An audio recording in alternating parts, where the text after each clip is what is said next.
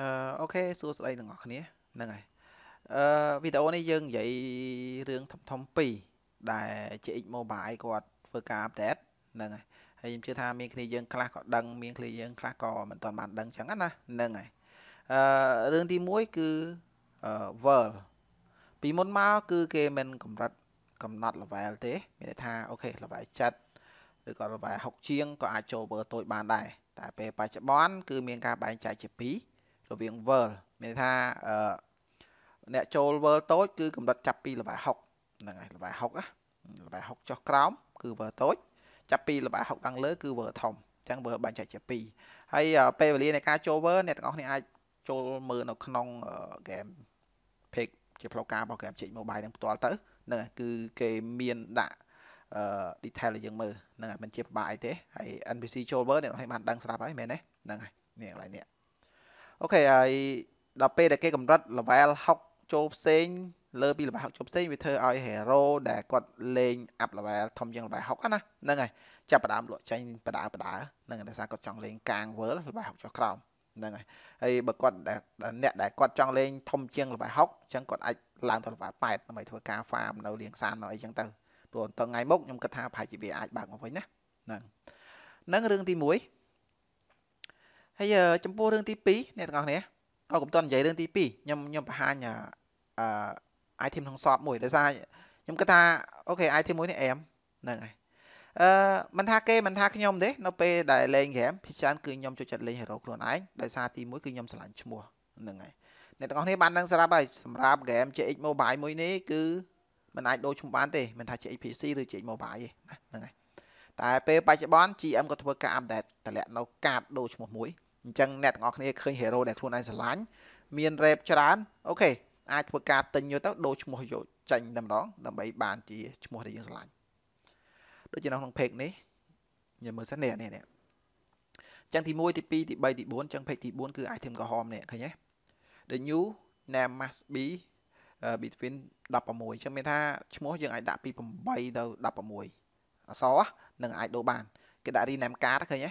អញ្ចឹងអ្នកទាំងអស់គ្នាដែលស្រឡាញ់ឈ្មោះខ្លួនឯង hero ខ្លួនឯងអូខេអាចធ្វើការអឺដូរដោយខ្លួនឯងបានដោយសារវាមាន event ទៅឲ្យអញ្ចឹងបងបងដែលថាគាត់មានលុយច្រើនហើយនឹងហើយគាត់ខ្ជិលលេង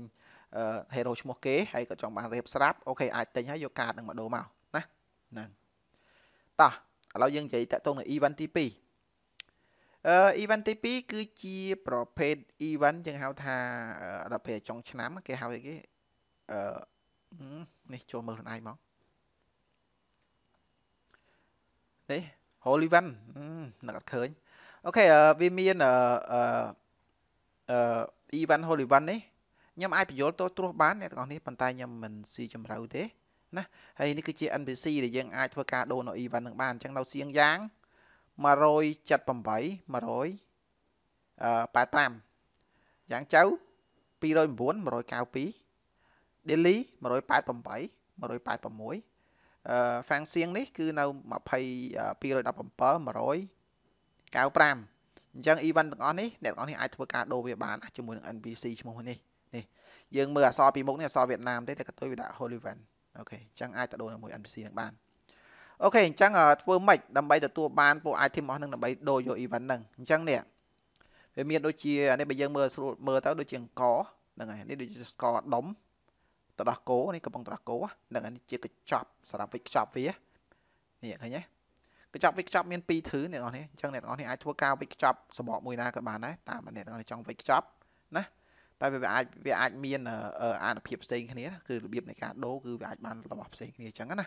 ហ្នឹងហើយអញ្ចឹងអ្នកទាំងអស់គ្នាវិកញ្ចប់អាសបកលើនេះស្គាល់គ្រាប់ចេញអាចេះវិកញ្ចប់អានេះស្គាល់គ្រាប់ចេញអានេះណាហើយយើងមើលតើនេះ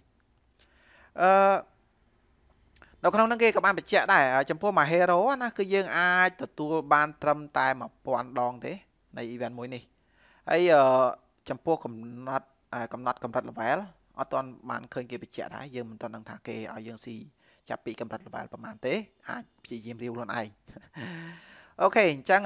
មួយទៀតនេះគឺយើងនឹងទទួលបាននេះអាមុខអាផ្លែលប៉ៅនេះណានឹងផ្លែលប៉ៅផ្លែលប៉ៅនេះ គឺយើង អឺយើងអាចយកវាមកដូរផ្លែល្ពៅហ្នឹងណានឹងអាចយកវាមកដូរនៅនឹង event នៅសភៅនោះអីចាចាំតិចយើងទៅមើលអញ្ចឹងយើងគួរដឹងថាធ្វើម៉េចដើម្បីទទួលបានពួក item អស់នេះអឺព្រឹកមិញខ្ញុំតេស្តបានខ្លះអឺប៉ុន្តែខ្ញុំអត់ទាន់បានចូលមើល website វាទេអញ្ចឹងក្នុងនេះវាមានដាក់ហើយនេះណាវាមានដាក់ហើយអញ្ចឹងនៅក្នុងហ្នឹងខ្ញុំនិយាយត្រួសត្រាសតែម្ដងទៅអឺតកតងទៅនឹង mission មួយចំនួនវាវាផ្ដល់ឲ្យទេដូចជាការដាំផ្កាទូច ផ្កាទូចគឺជាប្រភេទផ្កានៅក្នុងក្រុងហ្នឹងហើយផ្កាទូចវាមានដាក់ឲ្យនេះផ្កាទូចពួកប្រភេទអស់នេះនេះឃើញដាក់ small ទេនេះហ្នឹងហើយអញ្ចឹងណាប់ពួកប្រភេទផ្កាអស់ហ្នឹងគឺវាអត់បានទេវាអត់បានអាពួក random ចូលពួកនេះអាអង្គស្ករសឬក៏ត្រកគោនេះទេវាអត់ random ចូលទេអញ្ចឹងកន្លែងណាដែលវាដាក់អឺ lock up នេះគឺมันអាចបានទេតែបើ no បើ no lock នេះមានថាបាន no lock មានថាมันចាក់សោណាហ្នឹងហើយគឺយើងអាចទទួលបានពួក item អស់ហ្នឹងប៉ុន្តែវា random ទេវា random ហ្នឹងហើយហើយយើងអាចមើលក្នុងនឹងបានខ្ញុំអត់ detail ទេដោយសារបើយើង detail នីតិ C រៀងវែងតិចចឹង mission នេះក៏វាអត់បានដែរនេះអត់បាន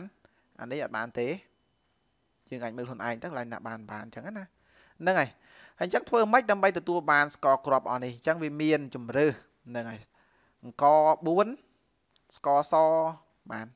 2ស្ករស2អង្គ4ស្ករស2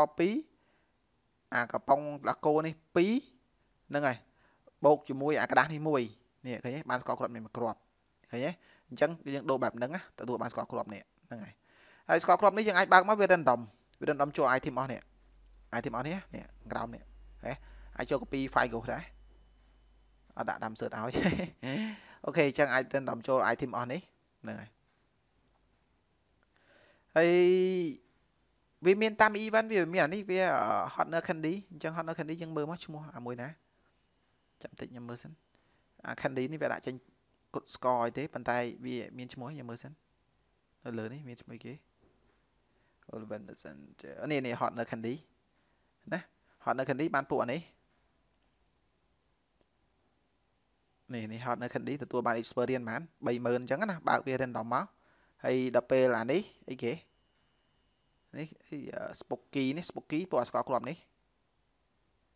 នេះនេះ spooky ពួកស្ករគ្រាប់នេះអញ្ចឹងបើ random ចូលពួកស្ករគ្រាប់នេះ experience បានជាងពួកអាធម្មតាណាអញ្ចឹងយើងអានេះអា